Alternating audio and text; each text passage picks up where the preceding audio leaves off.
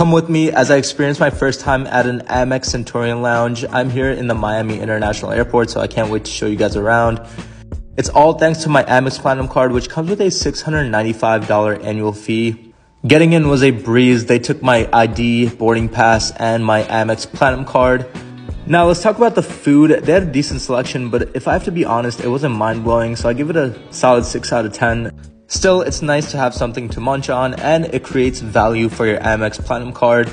The best part was being able to relax before my flight away from the chaos of the Miami International Airport, but here's the catch. By the time I had to leave for my flight, the lounge was packed. It seems like everyone had the same idea.